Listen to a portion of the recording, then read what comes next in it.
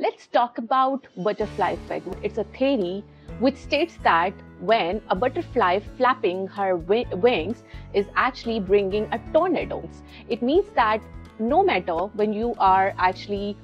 talking to someone, when you are doing any little task in your life, you're actually bringing a very vast change in the phenomena of the universe because it is going to create different illustrations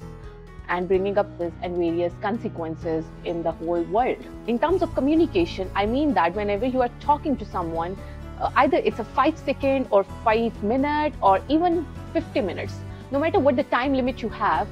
just communicate with full confidence, communicate with the intention that you are going to evolve the change in the coming person. You're bringing change in the world, you're bringing the change in the phenomena of the universe.